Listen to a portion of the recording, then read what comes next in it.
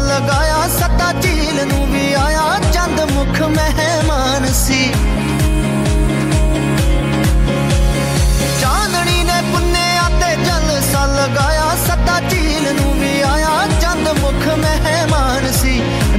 ਰਿਸ਼ਮਾ ਨੇ ਰਿਸ਼ਮਾ ਨੇ ਉਹ ਰਿਸ਼ਮਾ ਜੇ ਪਾਈ ਸੀ, ਪੋਸ਼ਾਕ ਮਾਰੀ ਤਾਰਿਆਂ ਨੂੰ ਹਾਕ, ਉਹ ਤਾਂ ਹੋਰ ਹੀ ਜਹਾਨ ਸੀ। ਉਹ ਰਿਸ਼ਮਾ ਨੇ ਦੂਧਿਆ ਜੇ ਪਾਈ ਸੀ, ਪੋਸ਼ਾਕ ਮਾਰੀ